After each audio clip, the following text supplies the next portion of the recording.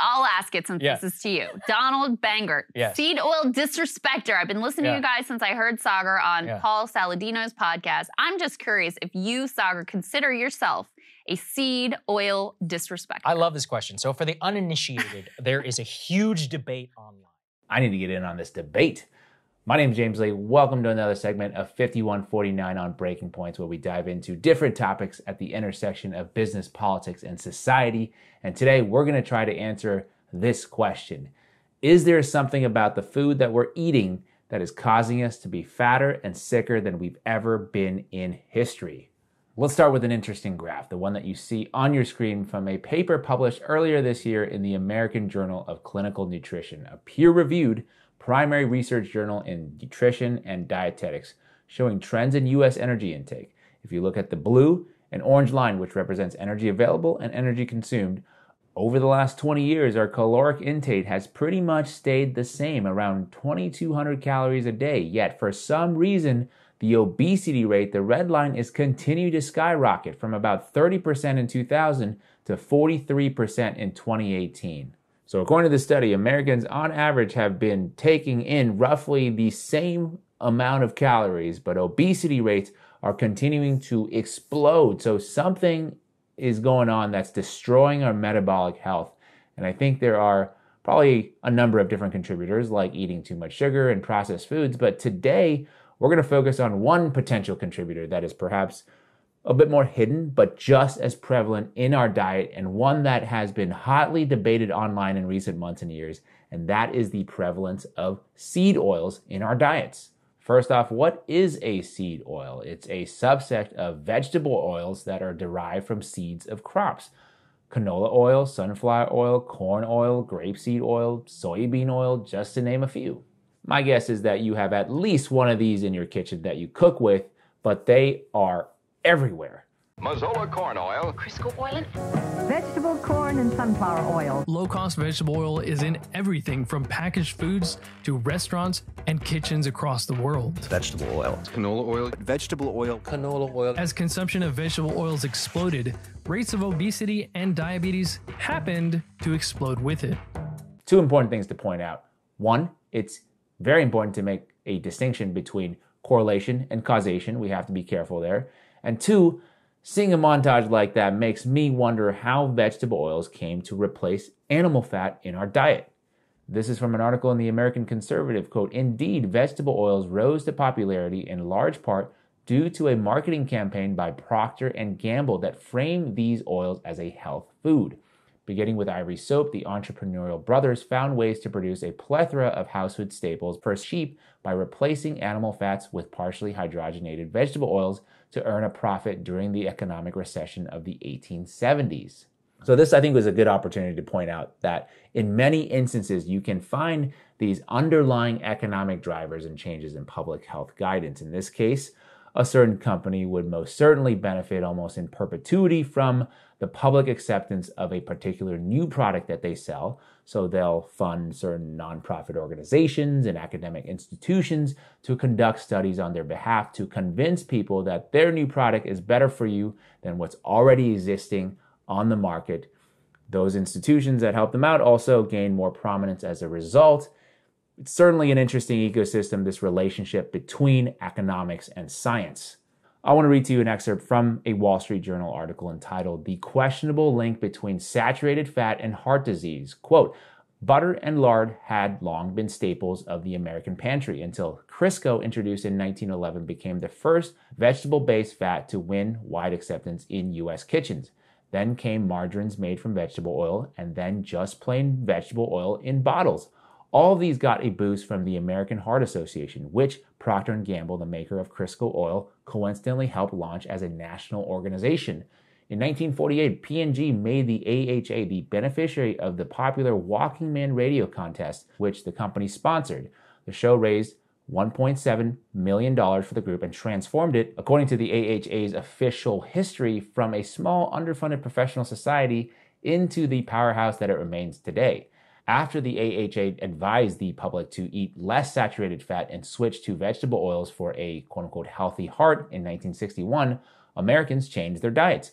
Now, these oils represent 7 to 8% of all calories in our diet, up from nearly zero in 1900, the biggest increase in consumption of any type of food over the past century. Okay, so there's a little bit of the history. Correct or incorrect, there was certainly some collaboration between corporations and the scientific community to convince Americans that vegetable oil is better for you than animal fat. So now that we understand that piece of history, let's talk a little bit about why doctors today are concerned about vegetable oil being a regular part of our diet. Average Americans today are eating 5 to 6 tablespoons of vegetable oils per day. That's around 700 calories of oil filled with polyunsaturated fat. It's almost impossible to get this amount naturally. There's so little oil per ear of corn that it takes 98 ears or 12,000 calories of corn to get you 5 tablespoons of corn oil. So, a long industrial process is dedicated to ripping oil out of these tiny seeds. As mentioned earlier, polyunsaturated vegetable fats oxidize very easily. Oxidize simply means to react with oxygen. This is how metals rust, and this is why meat that you leave out turns brown after a while. Oxidation changes the structure and properties of fats for the worse. Heat is a great way to oxidize fats, and vegetable oil is repeatedly heated long before it ever arrives in a kitchen. There are many steps to create edible oil, and several of them involve very high heat. Vegetable oils also oxidize while sitting in your body, creating toxic oxidation products like an aldehyde called 4-HNE. 4-HNE is actually considered to be the most toxic aldehyde, and this compound has been associated with aging, heart disease, diabetes, and Alzheimer's. Neuroscientist Tetsumori Yamashima has done plenty of research on vegetable oils and 4-HNE.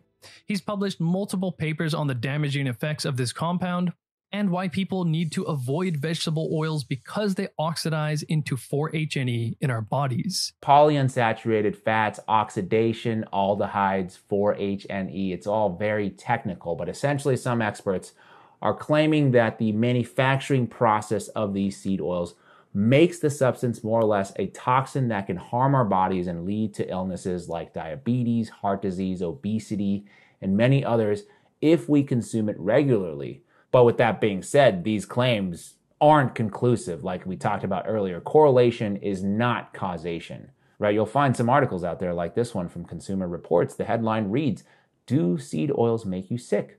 Critics say they raise your risk for weight gain, heart issues, and more, but the science doesn't support those claims, right? This isn't going to be the first time and it won't be the last time scientific studies come to differing conclusions. Science is just confusing. We, we have to think about and consider so many things like which research group conducted the study, who funded the study, how were the trials designed, was it peer reviewed, and so many other variables.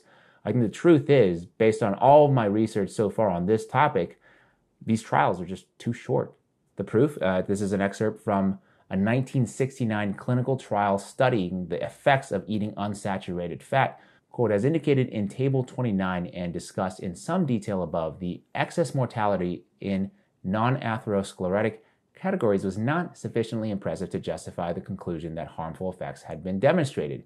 Nonetheless, this small excess non atherosclerotic mortality in the late years of the study raises the very important and difficult question of whether future clinical trials of diets rich in unsaturated fat must be planned for periods well in excess of eight years rather than the five year periods that have been the usual goal. Okay, so the situation is we don't really know for sure whether seed oils can be linked to obesity, diabetes, heart disease, and many other ailments. And my opinion is obviously that while the relationship between diseases like obesity, diabetes, heart disease, and eating vegetable oil is at this point at best correlational and not causational, we also cannot deny that our diet has changed tremendously in the last half century.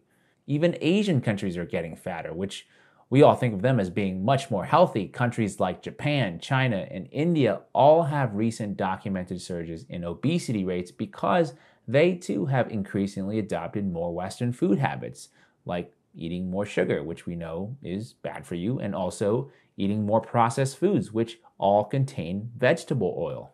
Look, I think the causes for something like obesity is obviously a multifaceted issue. Vegetable oil is perhaps just one small component of why we're getting fatter and sicker. We'll have to wait for better designed, longer clinical trials. But in the meantime, I don't think we could talk about this topic and not mention the overall structure of food and drug regulation. The Food and Drug Administration, the FDA, is responsible for assuring that foods sold in the United States are safe, wholesome, and properly labeled. But at the same time, a not insignificant portion of the FDA is funded by Big Pharma. According to their website, 54%, that's $3.3 billion of their funding comes from the federal government, but the other 46%, that's $2.8 billion, comes from Big Pharma vis a vis industry user fees. And if Big Pharma's profit engine is fueled by the existence of sick patients, wouldn't it be great for them if, say, half or two thirds or whatever the obesity number is today of adults in America were sick? Here's a headline for you Buy Eli Lilly stock. Its obesity drug will be a blockbuster, analyst says. So here's the deal I can't sit here in good conscience and say that there is some kind of global conspiracy of food and pharmaceutical executives and regulators in dark rooms devising ways to make people sick. But what I can say is that there is a certain economic benefit of normalizing obesity or convincing us to eat foods that sound healthy rather than to eat foods that are actually healthy. Anyway, those are just my thoughts about seed oils. What are yours? Please share them with us in the comment section below. I hope you found this segment to be helpful and informative.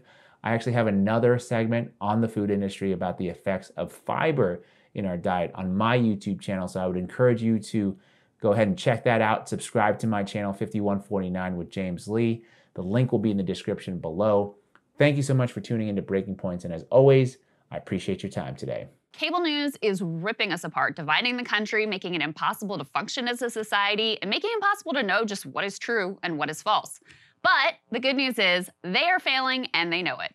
That is why we're building something new, a new mainstream, a healthier one, something more trustworthy, something that we are going to need in one of the most pivotal times in American history. We are building up here for the midterms, for the upcoming presidential election, but we need your help. So if you can help us out by becoming a premium member today at breakingpoints.com, we're trying to change America for the better and the entire world. So what are you waiting for, guys? Go to breakingpoints.com and sign up and help us build a new mainstream.